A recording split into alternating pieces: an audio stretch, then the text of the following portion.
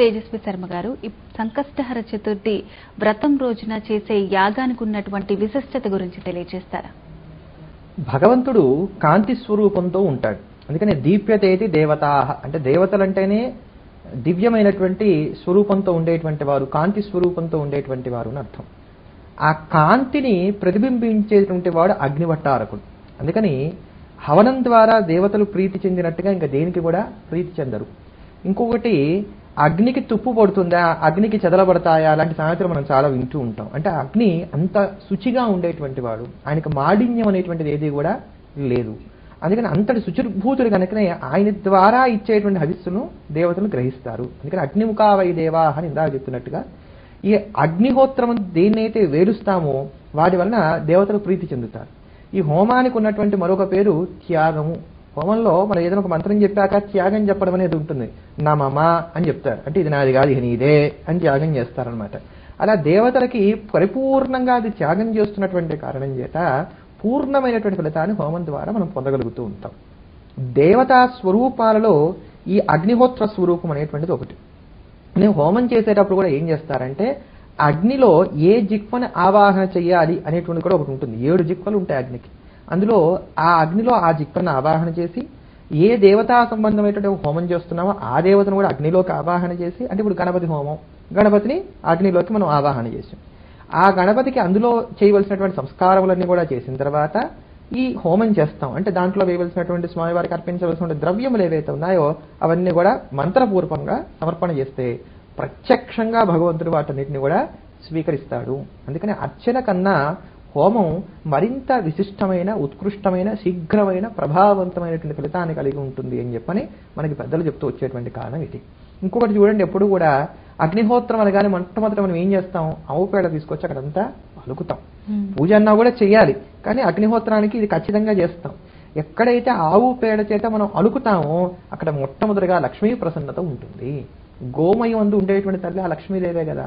కనుక ఈ లక్ష్మి ఎన్ని రూపాల్లో మనల్ని అనుగ్రహించాలో అన్ని రూపాల్లోనూ అనుగ్రహిస్తుంది. అంటే కొంతమందికి చూడండి ఐశ్వర్యం ఉంటుంది కానీ వాడు తీసి ఖర్చు పెట్టడు వాడిది భావదారిద్యం అటువంటి ఆ భావదారిద్యం లేకుండా ఉండటం కూడా లక్ష్మీ కటాక్షములనే రావాల్సిందే.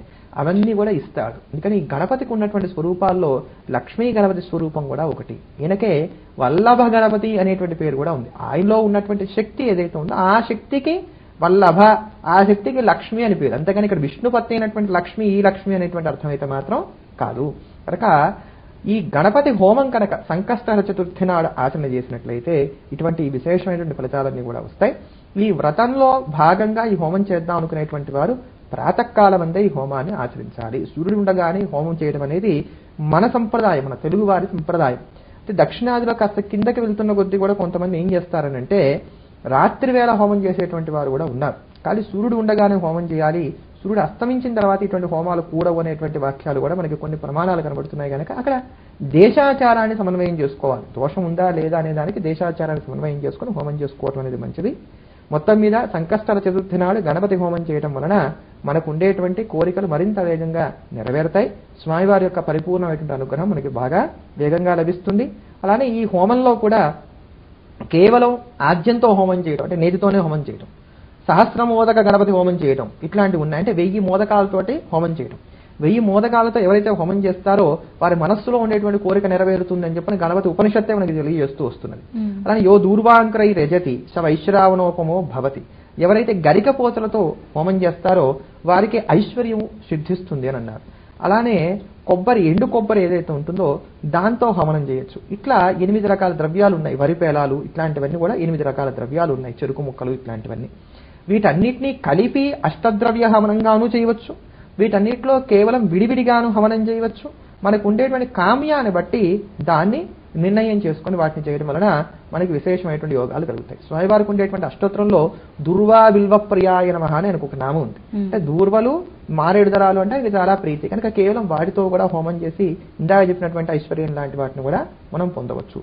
శరీరం బలహీనంగా ఉందండి మాకు మంచి పుష్టి కావాలి అన్నంతో హోమం చేస్తే ఆ పుష్టి ఏర్పడుతుంది. అట్లా మనకు ఉండేటువంటి కామ్యాన్ని బట్టి ఆ ద్రవ్యాన్ని నిర్ణయం చేసుకొని వాటన్నిటిని చేయవచ్చు. మనకు అన్నీ కావాలి. అష్టద్రవ్యంతో హోమం చేస్తే అన్ని సిద్ధిస్తాయి.